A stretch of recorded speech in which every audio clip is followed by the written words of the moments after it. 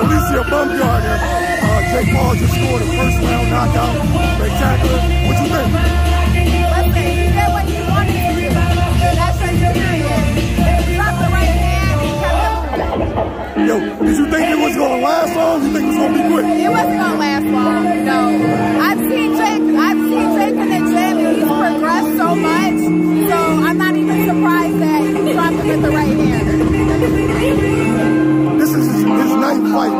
Like, where do you see Jake at around 20 fights? I see, I see him progressing. If he continues to stay consistent, which I believe he will, he wants to be a world champion. He knows what that takes. So I believe that he's gonna look a lot better. Like, come two, three years from now.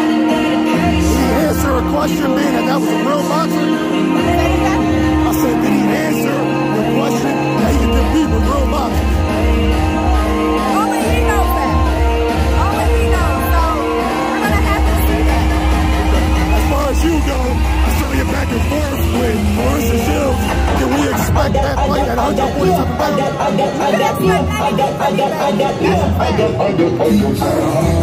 What's Alycia Baumgardner going to look like at 147?